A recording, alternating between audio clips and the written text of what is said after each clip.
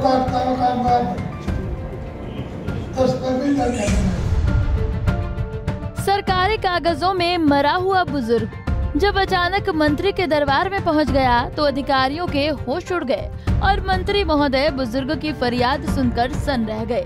दरअसल हरियाणा में सैकड़ों बुज़ुर्गों को मरा हुआ दिखाकर उनकी पेंशन काट दी गई है जिसको लेकर बुज़ुर्ग न केवल दर दर की ठोकरें खाने को मजबूर हैं, बल्कि सड़कों पर उतरकर अनोखे तरीके से विरोध भी कर रहे हैं। ये तस्वीरें कैथल की हैं, जहाँ कष्ट निवारण समिति की बैठक में पहुँचे तिरासी साल के बुज़ुर्ग ने मंत्री मूलचंद शर्मा के सामने अपना दुखड़ा रोया।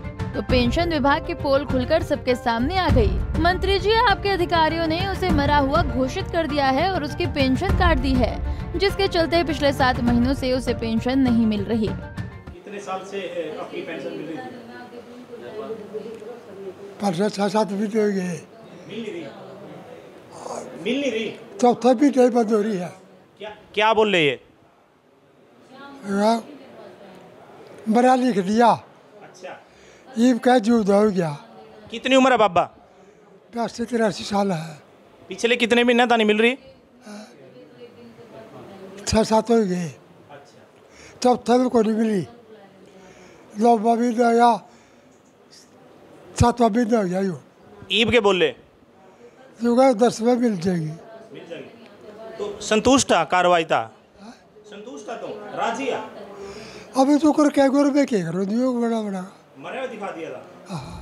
बुज़ुर्ग ने भरी बैठक में अधिकारियों की पोल खोल दी तो अधिकारी भी अपनी अपनी सफ़ाई देने में जुट गए। किसी ने कहा कि टेक्निकल मिस्टेक के चलते बुज़ुर्ग की पेंशन कटी है। तो किसी ने कहा कि अगले महीने से पेंशन शुरू हो जाएगी। और जितने महीने पेंशन नहीं मिली है, वो भी इकट्ठा दे दी जाएगी। पीड़ित बुज़ुर्ग मंत्री और अधिकारियों के आश्वासन से संतुष्ट तो है, लेकिन क्या बुज़ुर्ग की पेंशन दोबारा से शुरू होगी? इस पर कुछ भी कहना जल्दबाजी होगी। क्योंकि जिस तरह से अलग अलग जिलों में ऐसे मामले लगातार सामने आ रहे हैं, उससे तो यही लगता है कि बुज़ुर्गों की पेंशन बड़े स्तर पर काटी गई है। कई बार क्या है कि जो बुज़ुर्ग आदमी की जो मृत्यु कर पेंशन कटी है, उसकी गलती हो जाती है। उसको ठीक करके उसकी पेंशन ठीक कर दी। सर बाहर तीन बुज़ुर्ग बैठे हैं जो कागजों में मर चुके हैं वैसे बाहर बैठे पेंशन कट गई उनकी भी कराएँगे। कटना नहीं है हम ठीक भी कराएँगे। अगर कटी है तो ठीक कराएँगे। आठ महीने से सर वो दर दर की ठोकरें खा रहे हैं बाहर बैठे हैं। कोई बात नहीं आठ महीने के अभी मिलेंगे। जहाँ मिलेंगे मुलाकात कराना उसे ठीक कराएँगे। मंत्री जी, आपकी जो ग्रेवेंसीज कमेटी है इसमें आधा दर्जन से जो शिकायतें पहले ही सोल्व हो जाती हैं। क्या कुछ मानते हो कि जिनको न्याय मिलना चाहिए, वो फरियादी बाहर बैठे हैं और बेवजह की शिकायतें जो यहाँ आती हैं अधिकारियों को निरीक्षण करना चाहिए? नहीं, ऐसा नहीं है कि जब गिरवेंस में काम हो तभी लोग आते हैं। लोगों की जानकारी मिलती है गिरवेंस में जाने के बाद, अधिकारी के लगने के बाद उनको न्याय मिलता है और लोग ज़्यादा गिरवेंस में इसलिए आते हैं कि उनको उम्मीद है कि गिरवेंस में लगने के बाद हमारी सुनवाई होती है और अपनी बात को रखते हैं। इसलिए नहीं कि अगर ग्रीवेंस में सुनवाई नहीं होगी लोग आएँगे नहीं। तो सर काफ़ी शिकायतों का पहले ही समझौता सर समझौता हो भी जाना चाहिए। अगर मान लो कोई अधिकारी ग्रीवेंस में लगने के बाद समझौता हो जाए ठीक है उनका रास्ता निकलता है उनका जो परेशानी वो खत्म होती है। बता दें कि हरियाणा में बुज़ुर्गों की पेंशन कटौती को लेकर राज्य स्तरीय धरना प्रदर्शन भी किया जा चुका है।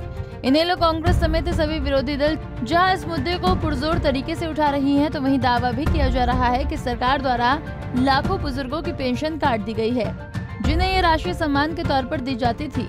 हालाँकि पेंशन कटौती को लेकर मचे हंगामे के बाद अब मुख्यमंत्री खट्टर ने खुद मोर्चा संभाला है, जिसके तहत आज सीएम खट्टर ने रोहतक में जनता दरबार लगाया, जिसमें पेंशन कटने से परेशान बुज़ुर्गों को सीएम ने भरोसा दिलाया कि उनकी पेंशन अगले महीने से शुरू हो जाएगी। कैथल से जयपाल रसूलपुर। हमसे जुड़े रहने के लिए हमारे YouTube चैनल को सब्सक्राइब करें और नई वीडियो की नोटिफिकेशन के लिए बेल आइकॉन को दबाएँ। अगर आप ये वीडियो Facebook पर देख रहे हैं तो लाइक ज़रूर करें और ज़्यादा से ज़्यादा शेयर करें धन्यवाद